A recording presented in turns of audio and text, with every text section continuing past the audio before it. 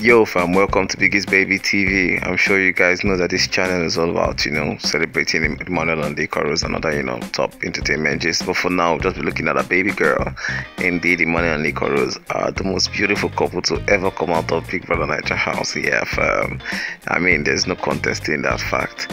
You guys just check out this very beautiful clip. I know people have been longing to see them clips, you know, do things together. But whatever this is, you guys should check it out. Don't forget to like, share, comment, and subscribe for more interesting, I mean, very hot clips on Emmanuel and Dick Farm 6 clip.